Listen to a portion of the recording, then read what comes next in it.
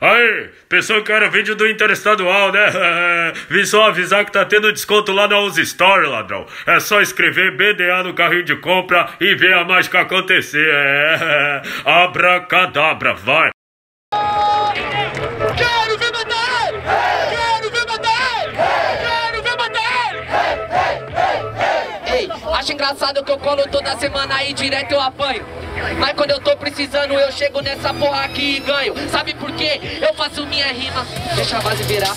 Pra me poder encaixar nessa disciplina, pra minhas ideias eu mandar. É, quando eu tô precisando, eu ganho. Cê tá ligado que a rima nós já frisa. É, quem ganha rima bem, só que não tanto quanto quem precisa. Mano, sem maldade, muito obrigado todo mundo que colou. Todo mundo que as ideias prestigiou e que aqui gostou. Sem maldade, cê tá ligado, mano, que essa é a realidade. Depois cê pesquisa pra saber o que é um movimento de verdade. É isso aqui, salvando a vida de vários moleque na roda de rap. De saber que não importa qual batida, seja boom bap ou trap. Tenho que vir ainda toda a minha vida pra poder inspirar esses moleque. Que é muito melhor do que tá roubando, é tá ficando informação no rap.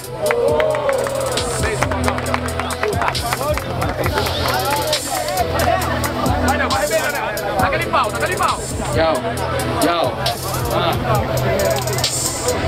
Vamos lá, vamos lá. Ah, começando sai do coração, a gente tem a locução mesmo sem ser locutor. Vim falar humildemente pra vocês que eu não aguento mais perder pro Salvador. Brincadeira, mano. Independente disso, eu cheguei aqui pra fortalecer a roda. A Ravena também não, mas é fofinha, amiguinha. Independente, o hip hop é foda. Sendo MC ou não, sendo sabotagem ou não. O importante é que a gente tá fazendo rima todo dia na roda e no vagão. Independente de onde você esteja, qual sua peleja. Ô meu irmão, tô aqui pra te dizer que o hip hop salva vidas. E essa porra aqui também foi a minha salvação muito obrigado, certo? Vão com Deus, que Deus abençoe a volta de todos, certo? Que, que, Rapidão. Vai com seu nariz. Família, você lembra do Felipe Ananias que tinha doado 300 reais? Ele doou mais 200, bateu 500, velho. Ah, porra, titio! Tá danado! E, Salvador, você é realmente emancipado, irmão? Você é realmente emancipado? Deixa eu dar um papo aí também, só mano, mas deixa eu falar.